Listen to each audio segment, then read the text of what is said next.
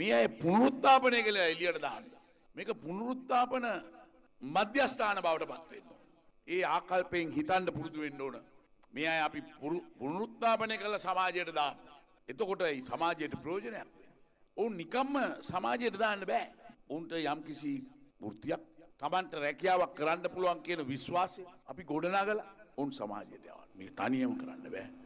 අධිකරන අමාත්‍යන්සය අධිකරණය මේකට අදාළ ආයතන සියල්ලම එකතු වෙලා මේ පිරිස් සුමකට යවන්ට මේ සමාජයට වැඩදායි පුද්ගලයම් බවට පත් කරන්නට මේ සංවර්ධනයට දායක වෙන පිරිස් බවට පත් කරන්නට කටයුතු කරන්නට